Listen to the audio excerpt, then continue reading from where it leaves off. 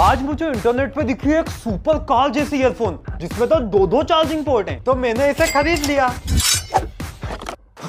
First look में तो इसका केस काफ़ी कूल दिखता है, पर इसके हिंज की क्वालिटी अच्छी नहीं है। फिर मैंने दोनों पोर्ट से इसे एक साथ चार्जिंग पे लगा दिया। फिर मैंने इससे म्यूज़िक सुना, उसके बाद गेमिंग की। यार, इस ईयरफोन की साउंड क्वालिटी ज़्यादा खास नहीं है नॉर्मल ईयरफोन जैसी ही बाकी इसमें IP85 रेटिंग के साथ टच कंट्रोल्स भी मिलते हैं। तो प्राइस के हिसाब से इस ईयरफोन का केस तो बहुत यूनिक है, लेकिन फीचर्स सारे ही